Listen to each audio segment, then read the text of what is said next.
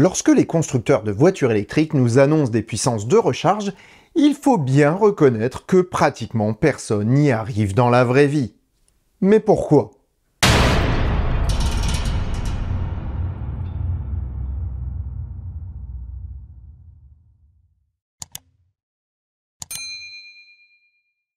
Lorsque l'on recharge sa voiture, c'est toute une chaîne d'éléments qui rentrent en jeu.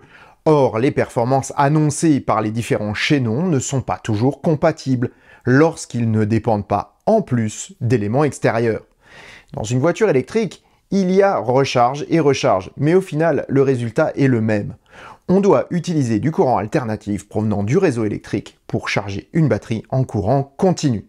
Pour le faire, on a besoin de trucs pas toujours faciles à expliquer, mais qu'on va ici simplifier au maximum afin que tout soit le plus clair possible. Dans la grosse boîte noire, on va avoir une borne et une prise, ainsi qu'un convertisseur ACDC. Imaginez que vous rechargez à la maison, sur du 220 volts, sur une prise domestique.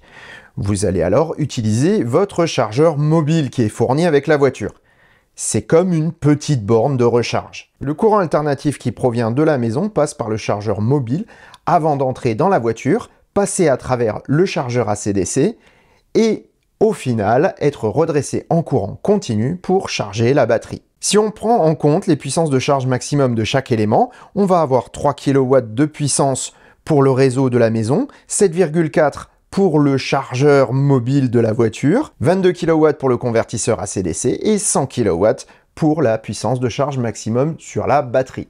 Tout ça, c'est bien sûr des exemples. Hein. Chaque voiture sera différente et chaque infrastructure sera différente. En revanche, ce qui ne changera pas, c'est que c'est toujours l'élément le moins puissant qui va déterminer la vitesse de recharge de l'ensemble. Et en l'occurrence, ici, on est à 3 kW. Si maintenant on installe une prise 32 A ou 7,4 kW à la maison en monophasé, on aura la même puissance que le chargeur mobile. Et c'est donc ces deux éléments-là qui vont déterminer la puissance de charge maximale. En revanche, lorsque l'on va sur une borne, elle est souvent alimentée en triphasé, qui est toujours du courant alternatif. Ce courant alternatif passe dans une borne qui est renvoyée toujours dans la voiture vers le convertisseur ACDC qui est dans la voiture et qui ensuite est redressé pour être envoyé dans la batterie. Au niveau des puissances, on est à largement plus élevé. On a 600 kW pour le triphasé par exemple, 43 kW pour la borne, 22 kW pour le chargeur ACDC et 100 kW pour la charge de la batterie. Donc, je vous le donne en 1000, on va avoir une recharge qui sera limitée par le convertisseur ACDC. Bien vu. Et donc, on aura une charge qui sera à 22 kW. Pour les recharges rapides, par contre, le convertisseur ACDC n'est plus dans la voiture, parce qu'il est beaucoup plus gros et il est entre le réseau et la borne. Ou alors il est dans la borne, tout simplement. Le convertisseur ACDC, lui, va envoyer du courant continu qui va être envoyé vers la voiture et donc qui va être injecté dans la batterie sans passer par le chargeur interne de la voiture. Donc ici, prenons toujours notre exemple, nous avons 600 kW sur le triphasé, une borne avec un chargeur ACDC qui permet 350 kW et la batterie de la voiture qui permet 100 kW. Eh bien, c'est la puissance de charge maximale de la voiture qui sera pris en compte, à savoir les 100 kW. Mais ça, c'est uniquement dans le monde des bisounours parce que les 100 kW sont un niveau de charge maximum. En effet, plusieurs facteurs vont limiter cette puissance de charge. Et en l'occurrence, la température. La capacité de charge dépend de la température extérieure. Donc si la batterie est trop froide ou trop chaude, eh bien, elle chargera difficilement. L'idéal étant que la batterie soit approximativement entre 20 et 30 degrés. Voilà qui explique que la gestion thermique de la batterie est extrêmement importante, aussi bien pour le froid que pour le chaud. Autre point important est que la puissance de charge admissible ou capacité de charge de la batterie est également dépendante de son remplissage. Plus une batterie est pleine, moins elle accepte de nouveaux courants. C'est un peu comme un pneumatique.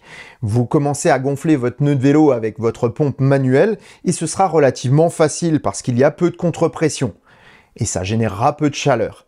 En revanche, plus le pneu gonfle, plus ça devient difficile. Et du coup, la pompe devient de plus en plus chaude. Une fois le pneu bien gonflé, la contrepression est importante et il devient de plus en plus difficile de pomper un peu plus d'air à l'intérieur, tout en générant beaucoup plus de chaleur. Pour la batterie, on va se retrouver avec exactement la même situation et l'ordinateur de la batterie, à savoir le BMS, Battery Management System, va baisser la puissance de charge pour éviter la montée trop importante de température. Le tout en combinaison avec le système de gestion de la température de la batterie. Voilà, vous savez maintenant pourquoi une voiture électrique ne charge presque jamais à la puissance annoncée par le constructeur ou le fabricant de bornes. Dernier petit conseil avant de se quitter. Lorsque vous faites de la route, pensez à recharger lorsque votre niveau de charge est bas mais sans pour autant aller au-dessus de 80%.